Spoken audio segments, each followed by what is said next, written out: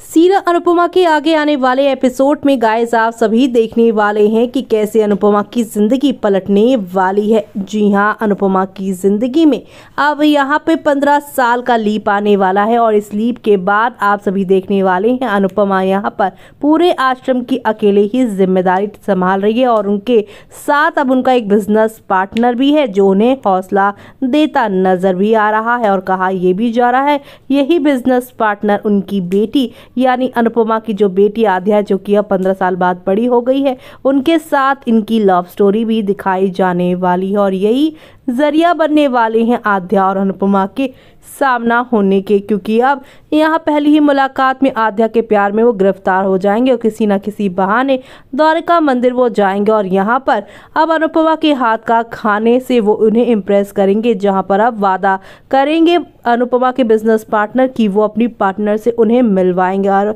आद्या भी खुश हो जाएगी। लेकिन आद्या और यहाँ पर अनुपमा की पंद्रह साल बाद मुलाकात इस बिज़नेस पार्टनर की वजह से होगी, जहाँ पर काफ़ी इंटरेस्टिंग होगा सब